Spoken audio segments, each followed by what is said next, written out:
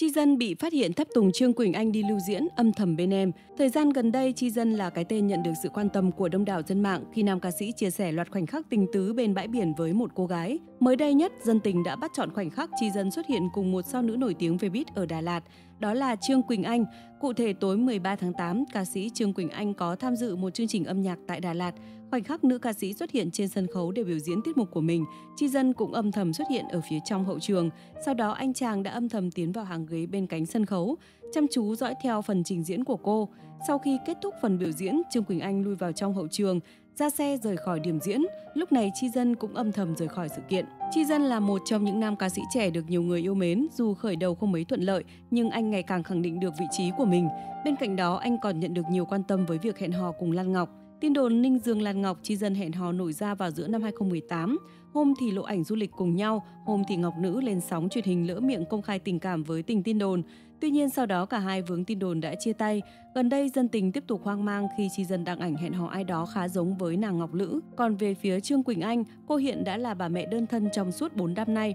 Trương Quỳnh Anh từng hẹn hò tim, cả hai là cặp đôi nhận được nhiều sự quan tâm của công chúng và báo giới. Hậu chia tay, Trương Quỳnh Anh không còn muốn nhắc đến đối phương nhiều nữa và bắt đầu cuộc sống độc thân. Chia sẻ về cuộc sống hiện tại, cô nói, ở thời điểm hiện tại, cứ nghĩ đến chuyện gắn kết với ai đó tôi lại sợ, lo lắng và hoang mang.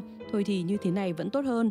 Còn chuyện tình cảm riêng tư với tôi thời điểm này không cần thiết nữa. Tôi không cố tìm, không trông chờ mà cứ để mọi chuyện tự nhiên như vậy. Trương Quỳnh Anh tâm sự. Tim và Trương Quỳnh Anh từng là cặp đôi đẹp của showbiz Việt, nhận được nhiều sự ngưỡng mộ của khán giả. Sau một thời gian chung sống, cả hai đã có quyết định chia tay dù đã có con chung, khiến không ít fan tiếc nuối. Xuất hiện trên mạng mới đây, Tim lần đầu chia sẻ về chuyện tình cảm với Trương Quỳnh Anh, nam ca sĩ trải lòng về nguyên nhân dẫn đến quyết định ly hôn. Những người tôi nghĩ không bao giờ rời bỏ tôi, họ đã chịu đựng ngày qua ngày với cái sự tự cao tự cho mình là cái rốn vũ trụ. Tôi không nghĩ tới cảm nhận suy nghĩ của người ta, cho nên tôi không được gọi là chồng. Về trách nhiệm và những điều người chồng cần làm thì tôi không làm được. Chúng tôi lại không chia sẻ với nhau. Khi có những điều không nói ra thì nó lại như một trái banh càng ngày càng lớn và một thời gian sau mọi chuyện đổ vỡ quyết định ly hôn. Khán giả bất ngờ với diện mạo mới của Tim cũng bởi anh sụt cân khá nhiều so với trước đây. Anh thừa nhận sau ly hôn đã bỏ bê sức khỏe, cũng không chăm chút ngoại hình. Thời gian đầu sau ly hôn, Tim cho biết anh rơi vào khủng hoảng trầm trọng, không chăm chút ngoại hình, không màng đến sức khỏe nên đã sụt 10 kg.